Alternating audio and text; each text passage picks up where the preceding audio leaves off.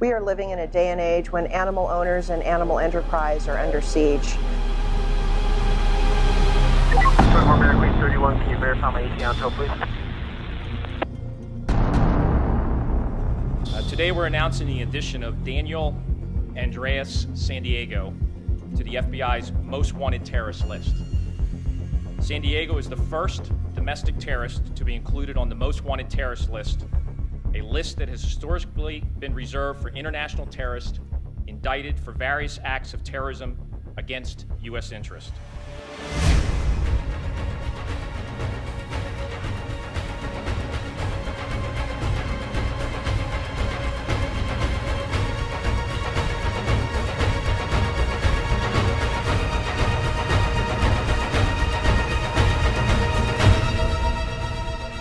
Is where I say it's a hate movement. Uh, they make money by disparaging people. It's sad to think that we have to even exist to protect people. late 80s, early 90s, a new kind of legislation came down the pike that had a huge uh, media component with it. San Diego's criminal acts of violence were domestic acts of terror, planned out and possibly intended to take lives, destroy property, and create economic hardship for the companies involved.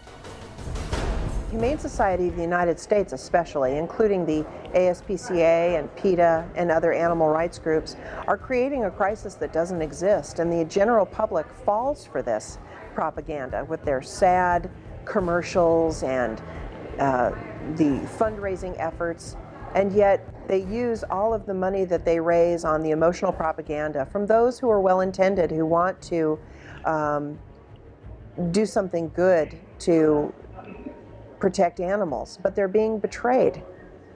They're completely being betrayed by the animal rights movement, who take their money willingly and use it against them, actually, to further regulate pet producers, the pet industry rather, uh, animal agriculture, those who grow and raise our food, to just chip away and make it more difficult. And it's all a strategy to raise the cost, reduce the total production, and eventually eliminate animal agriculture and the pet industry from our country. You know, we have pushed a lot of businesses out of the United States into foreign countries, and I see that happening with our with our food producers.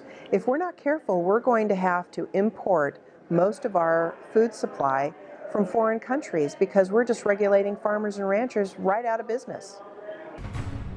You can see the damage still here at the sheepskin factory. This uh, alleged arsonist claims to belong to the Animal Liberation Front, and he posted essentially confessions on some of those radical websites, as you said, under the name Lone Wolf. Well, investigators got their big break when an associate helped them get the real name, 34-year-old Walter Bond. He's in federal jail right now, accused of arson.